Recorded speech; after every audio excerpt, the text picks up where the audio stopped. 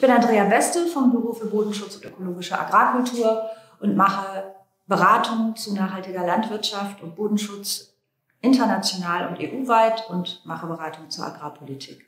Ich wünsche mir eine Landwirtschaft, in der die Wünsche der Verbraucher ernst genommen werden, in der die Ressourcen geschützt werden, in der die Tiere, die gehaltenen Tiere sich wohlfühlen und in der Bauern vernünftig verdienen können.